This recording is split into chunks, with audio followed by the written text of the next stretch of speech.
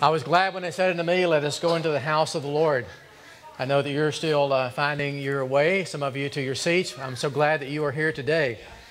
Uh, we may have guests with us today. If you are visiting with us today and uh, you're not a member here, uh, we would delight in you taking the visitor's card that you find in the pew rack in front of you and give us some information how we might contact you. We would like to do that, if nothing other than a letter or phone call and we appreciate you being with us today. So if you would find that pew, uh, that uh, card in the pew rack and fill it out, we would very much appreciate that. And then as we receive our tithes and offerings later in the service, just drop that in the offering plate. And that would mean a lot to us today. It is good to be in the house of the Lord. This evening we will have our business meeting, and I hope that you understand that Christians come to business meeting. You know why? Because it's biblical. In the Bible, there were business meetings. They didn't, didn't call them that, but they were. So they're always important. Tonight we have a, a, a motion to make that will be very important about our custodial uh, situation, and so we uh, hope that you will be with us during that time, not only for a business meeting, but worship and being together. I want to ask now that you uh, bow with us in prayer as we look forward to worshiping the Lord. We've come here today not to be seen, but to see the Lord. Let's ask Him for His presence. Dear Father, we pray now that we may be able to forget about ourselves. It's good to have a good feeling about ourselves, but we pray, Father, that as we come into this room we call the sanctuary, that it may be just an extension of our lives out there being a sanctuary because you're with us wherever we go. And yet, Lord, you give us the privilege and indeed have called us to be in this place at this time. So, Father, already we realize that without the cross, we could not come and be in your presence. Without salvation and forgiveness of sins, paid for by your blood, shed for us, we would have no hope. Lord, we come to celebrate today those of us who have crossed over from death into life spiritually. We celebrate the hope that we do have. And now, Lord, we pray earnestly that you will be in our midst. You will speak to us through our singing and preaching and responding. For all is vain unless the power of the Spirit comes down. We need your instruction, Lord. We need your encouragement, O Father. We need even your chastening, O Lord, that we may follow you with joy and that we may be a family. We would love each other, love each other, that others may see your love in us and understand you are real. That is our prayer now, Lord, in Jesus' name. Amen. If you would stand up and greet those around you.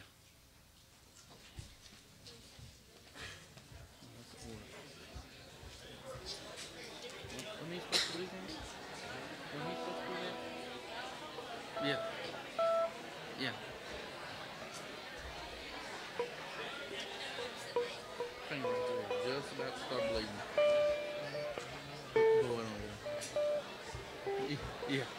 Yeah. I'm fine. He uh, got away. I gotta get up on this man work right now. May have to start that song. He does this every time. He just can't.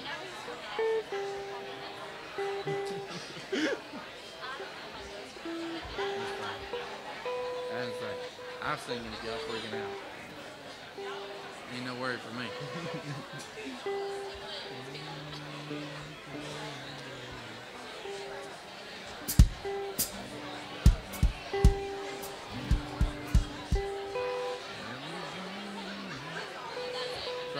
your heart rate up and beating this one. Huh.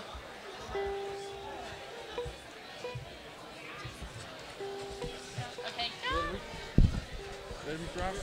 All right, here we go.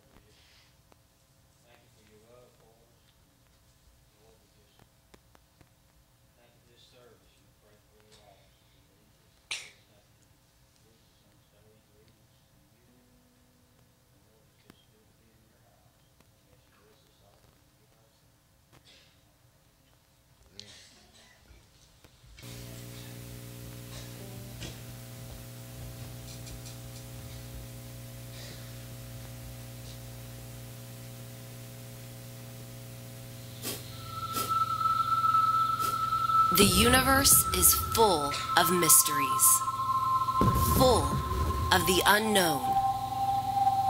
This summer, kids will learn that the God who created everything there is, the knowable and the unknowable, the visible and the invisible, wants a relationship with them.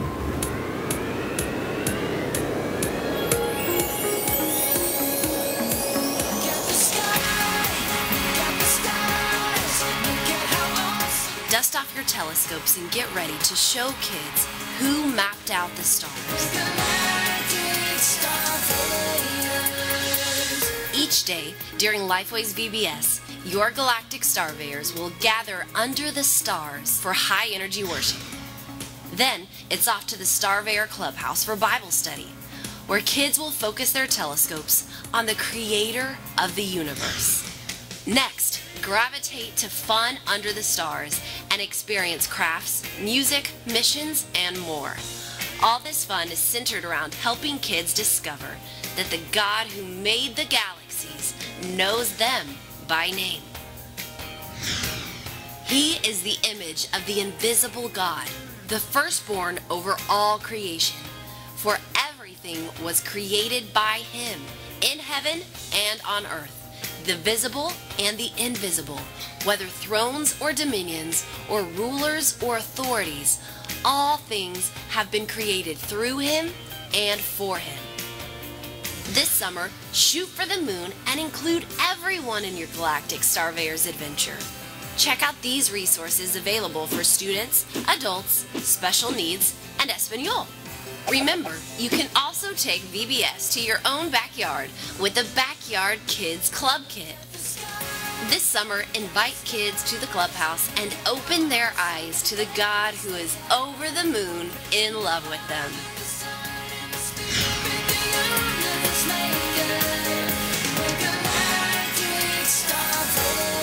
Vacation Bible School is just around the corner, so I hope that you're making plans to to be part of that. Work week is in just uh, two weeks, and, and we'll spend all week getting ready, getting things transformed around here, ready to, to have the kids the following week. And, and then that week, uh, obviously, uh, we, we need as much help as, as we can get. And so you can sign up, and I think there's a sign up sheet in the foyer. You can also just kind of call the church office and let us know that you're willing to help because we would love to have as many of you help as possible.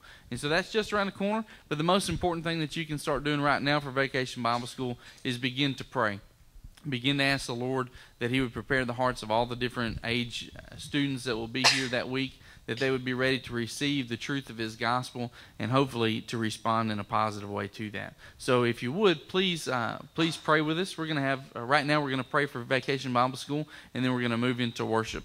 And so, after we pray together, if you would stand and worship with us. Lord, thank you so much for who you are. God, it's just so awe inspiring to, to think that we're going to be teaching our children in just a few weeks about how you've placed every star in the sky and you know them by name. Lord, what a great promise that is for each and every one of us.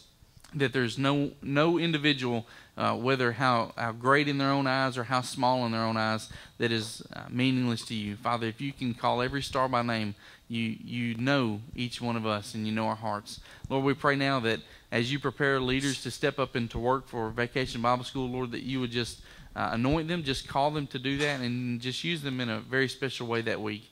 Lord, we also pray for all the children and students that will be coming that week. Lord, that you would just uh, get their hearts and their minds ready to receive what it is that you have from that week. Lord, that as the gospel is presented into their lives, that if they need to respond to that gospel and accept you as Lord and Savior for the first time, God, that you would just do that work in their hearts. We trust you to know uh, that, that you can do that in, in every child's heart. And Lord, we just look forward and expect you to do great things. We love you. We pray that you would continue to bless us this morning as we worship you through song and in just a, a, few moments when we open your word to continue to worship you there. Lord, we love you. We ask all these things in Jesus' name. Amen. If you would stand with us.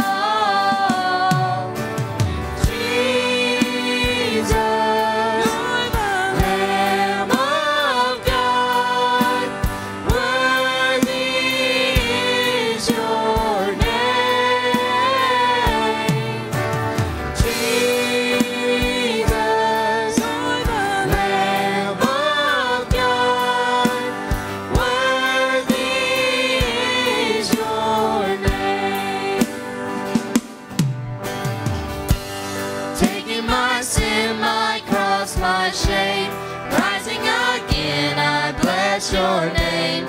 You are mine.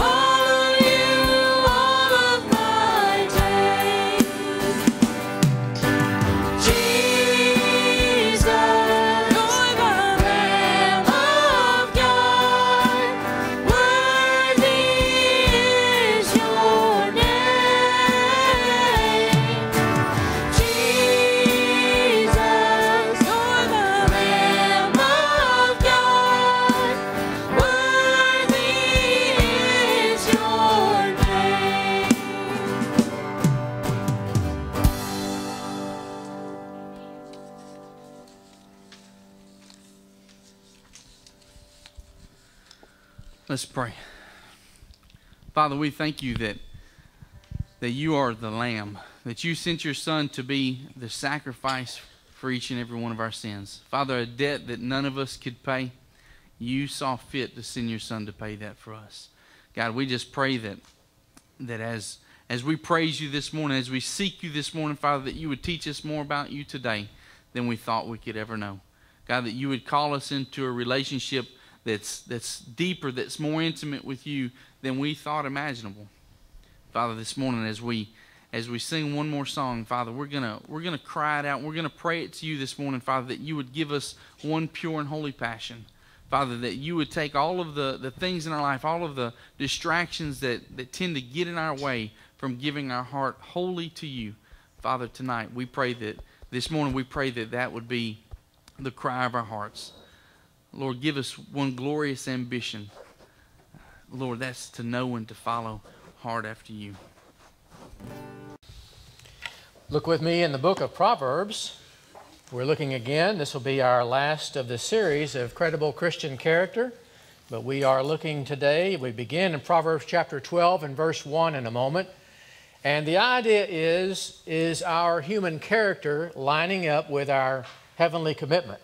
Do we have a commitment that appears to be real, both to us and those who do watch us? And there are those indeed who do watch us. If you've been with us the last few Sundays, kind of a review here, we talked about first how well we listen. That is a factor in uh, whether we have genuine salvation. How well we make, use, and give money then is a second question. And then what we speak uh, about to others, and who, uh, how we speak to others and about others. Whether we're honest last week all the way through that area of integrity. Now, let me tell you a story that will illustrate what you've probably already seen in your bulletin is the title today. And that is a story of myself uh, several years ago when uh, I was in my last full time pastorate. And I was able to buy a used motorcycle. And uh, so that was really cool. I hadn't had a motorcycle in years. And so, man, I was one Saturday morning, I knew I had a haircut to go get. And I was all excited. I jumped on that thing, ran up and down the main drag of the town and through a few neighborhoods. And I noticed a lady named Mary, a church member, began following me. I said, Wow, there's Mary. I can see her in the rearview mirror. And then I get to the barber shop, and Mary pulls up, and I say, Hi, Mary. She said, Preacher, where is your helmet? I said, she said, There are people watching you. There are other motorcyclists in town that are watching the pastor ride around without a helmet. There are young people who are going to have motorcycles, and they're watching you without a helmet. I want you to have a helmet on. Yes, ma'am. Miss Mary. So today the question is Are you correctable? I wore my helmet 90% of the time after that. Are you correctable? It says we sure need to be, the Bible says, because in Proverbs 12 and verse 1 it says, Whoever loves discipline loves knowledge. That's the good side of that, but the latter part, but he who hates correction, the NIV says, is stupid. Now, surely the Bible doesn't really say that. Your Bible probably says is brutish. Uh, the King James Version and perhaps the New King, King James Version as well may say something else like that. But when you look up brutish, it means like a dumb ox. And so the NIV is pretty accurate. Those who will not receive correction show themselves to be stupid. Well, let's see what God's Word says about those who won't receive correction at first. We'll take a look at that. And those who won't receive correction, the first truth is that they reject the one giving correction. You've probably been on one side or the other of that, having others reject your desire to lovingly correct. No, don't talk to me.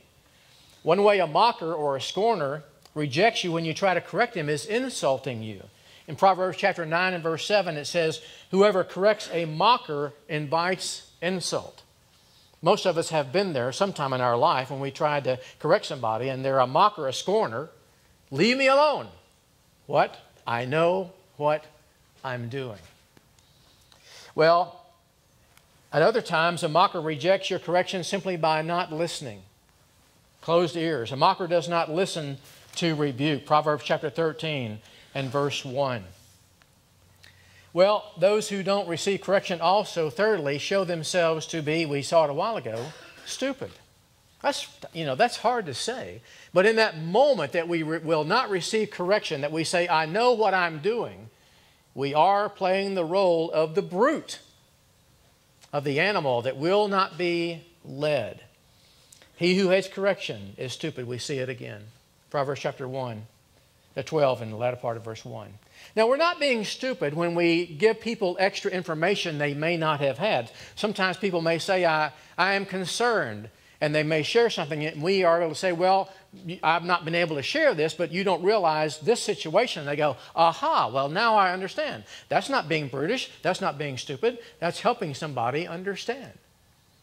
Or if, God forbid, we are falsely accused, I mean, just out of nowhere, out of left field, something that is a lie, untruth is uh, said against us, a damaging accusation, we are not being brutish if we defend ourselves in a Christ like way.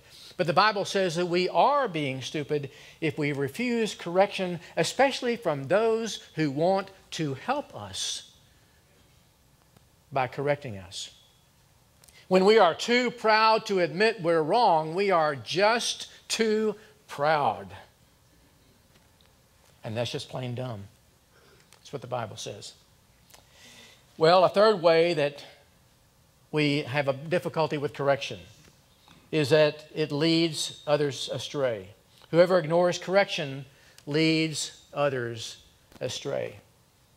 Now, if you have the King James Version or the New King James Version, it says, He who refuses correction goes astray. But that Hebrew verb there can be either goes or leads, and both are true. If we do not heed correction, first of all, we go astray, but as we go astray, we lead others astray with us, and that's what Mary was concerned about. I was going astray, but my example was leading others astray as well.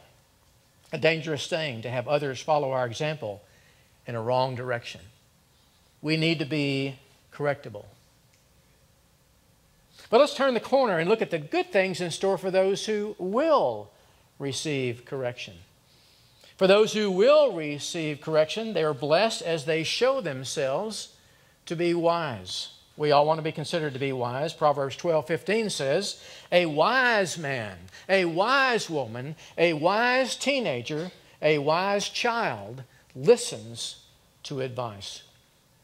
Proverbs chapter 9, verse 8, the latter part of that even says, A, a wise man will allow you to give him or her a stern rebuke Proverbs 9 8, rebuke a wise man, and he will love you. Isn't that amazing? A wise person will receive strong rebuke and love you for it. When my, I was a prison chaplain in my last tour of duty, the last prison where I was a chaplain, uh, we had a faith based barracks. We've been, been able the last several years to have faith based barracks in the Department of Corrections. And with faith based barracks, we had a volunteer chaplain who would be up there a lot of the time. I was the main chaplain there. I was not able to be in the faith based barracks all the time, but we always tried to have a volunteer chaplain there. And then we had inmates who really showed themselves to be dependable, dependable, and they were like the barracks coaches. Well, I had a guy up there who had the spiritual gift of mercy. I mean, this guy was merciful, and I loved him dearly. But he was so merciful that when the character coaches would, would get on to the guys who were breaking the barracks rules, they would go see this volunteer chaplain. And he would say, Oh, that's okay, that's okay. And so the, the character coaches were coming to me and saying, Chaplain, you got to do something. They're not listening to us because they keep going to your volunteer chaplain and getting off the hook. We really can't have order around here. And I had to get this, this guy down, who I dearly loved, a great friend of mine, and say to him, Brother, uh, I need for you to, to not do. I, I love your ministry of, of mercy, that you're so loving, you care about these guys, but I've got to let you, ask you not to uh, let down your guard. And I'll never forget, he looked at me and said, Oh, Ross, thank you for sharing that with me. I needed to hear that. I tell you, that was a wise man, and I appreciated him so much. Well, in addition to showing wisdom, Proverbs says people who are correctable also show prudence. Not a word we hear all the time. Prudence is the ability to govern oneself by using reason, by using our heads. Prudence means that I don't just use my emotions, I don't automatically launch out with what I see. I wonder, is there something behind what I see? Often what we see is the truth, it actually is the whole picture, but we don't always know that.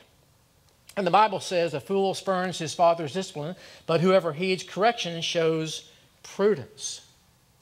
Able to govern ourselves and our actions by using our minds. One of the things I remember, I don't know why I remember this one time, because my father gave me a lot of advice And I just praise God for my father for teaching me some good things. One of the things that he told me one day, it was a Saturday morning, I remember that. I was back in his bedroom, we were getting ready to start the day, and he talked to me about objectivity.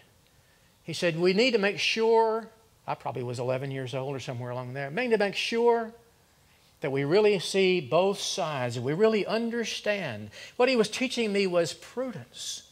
Prudence. And those who will receive correction grow in prudence. Along with wisdom and prudence, those who are correctable also gain what the Bible says is understanding. Proverbs 15 and verse 32 Whoever heeds correction gains understanding. What's the Bible mean there by understanding? It means that which grows us. Those who heed correction grow spiritually, grow in maturity. We will receive correction and understand it and learn and not do the same thing again, not have the same behavior again. See, the Lord likes to grow us by putting us into situations where we can't do it without growing because He's interested in growing our character and growing us in all the ways that are important to Him. And we gain understanding as we grow, as we receive correction. Well, we heard about the pitfalls of not receiving correction. We've heard about the positive things that can happen to us when we are correctable. Now there remains just one question for us Are we letting God's Word correct us? Are we? Are we consistently letting God's Word correct us? I remember memorizing as a child 2 Timothy 3:16 all scripture is given by inspiration of God and is profitable for doctrine, for reproof, for correction, for instruction in righteousness. So let's ask ourselves how would God's word speak to us today? Three things. You see them in your outline if you're following along. Are we really changing as God wants us to change? Or are we refusing to change? Both individually, we would ask that question. And as a church, are we changing as God wants us to change? Or are we refusing to change? Jesus said in Matthew 9, verse 17, this is a paraphrase New wine cannot be poured into old wineskins, it must be poured into new wineskins. And here's a truth we need to hear. When a church values its comfort more than its cross, its tradition more than its transformation being changed by the Lord, its riches more than revival, its luxuries more than the lost, then it becomes a dead institution rather than a living movement. That ought to speak to us individually and as a body of Christ that good churches can begin to say, I'm not changing anymore. I'm not listening to correction. I'm not looking into God's Word to continue to have spiritual life. I'm just kind of coming and filling a pew. And after a while, we become an institution rather than a movement. Christianity was never meant to be an institution, it has always been a movement. And we look at some of the other movements in our land and wonder why do they have so much energy? They're ungodly because they're not institutionalized, because they are flexible, because they can change, because, like it or not, maybe some of them are correctable. We also must be correctable. Are we correctable when God calls for new wine in old wineskins? Secondly, are we forgiving or are we withholding forgiveness? If you do not forgive men their sins, your Father will not forgive your sins. Speaking to believers, speaking to those following him, if you do not forgive, you will not receive forgiveness. Matthew 6:15. Are we correctable when Jesus calls us to forgive? Then are we focusing on deeds rather than focusing on devotion? Because as we enter into the Christian life, somebody will sooner or later ask us to do this or do that, and that's good. It's wonderful to serve. We love to serve. But after a while, the wheels of serving begin to spin. And sometimes with that, the wheels of devotion slow down.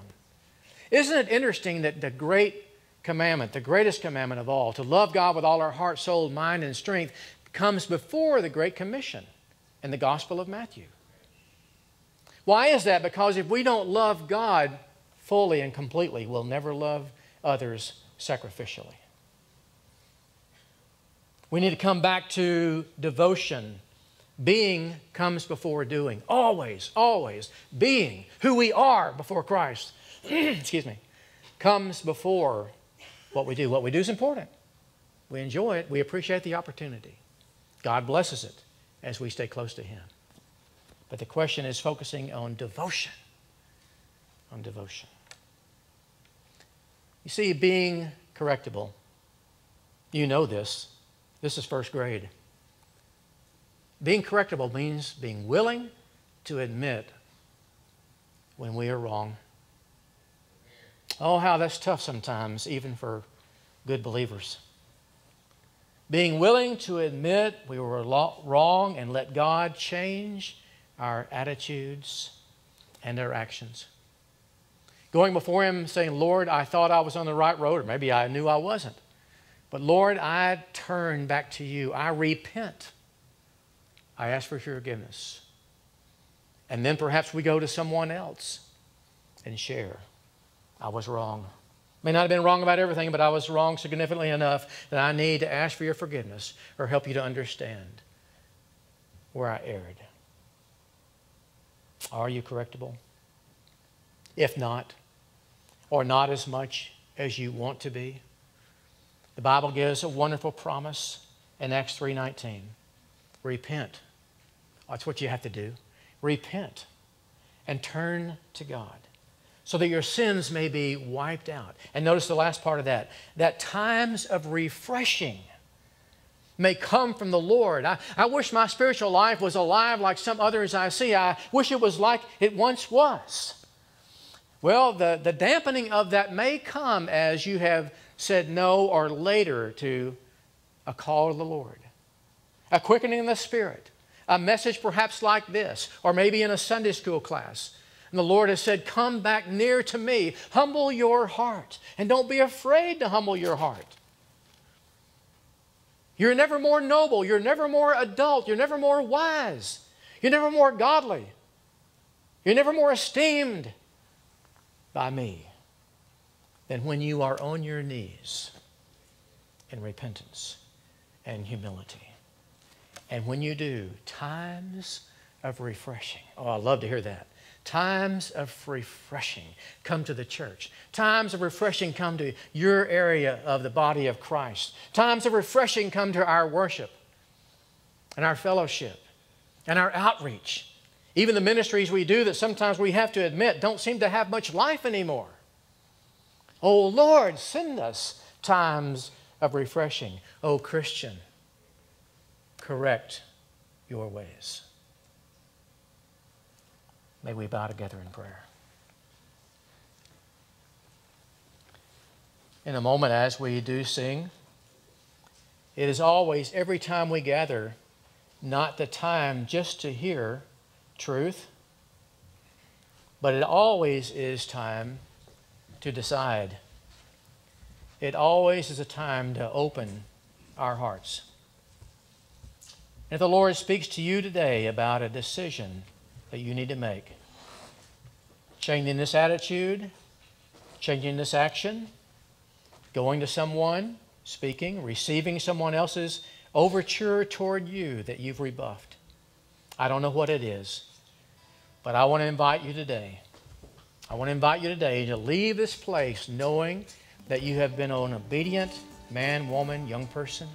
You have been obedient. You walk out of this place and say, hey, times of refreshing in my faith are here and are coming. The moment after I pray and as we sing, if the Lord so leads you, you may come and pray at these prayer altars about your decision or some other situation you have. You may come take my hand and say, Pastor, I need your prayer. Someone today may need to come to faith in Christ and receive Christ as Savior. Following baptism and church membership, you may come and take my hand and take that journey that God wants you to take. Let's pray. Oh Lord, We have not gathered in vain. We are not here by accident. Father, I pray that we may be obedient unto you, that times of refreshing may be our joy and your joy. In Jesus' name we pray. Amen. Stand and sing as we wait upon the Lord.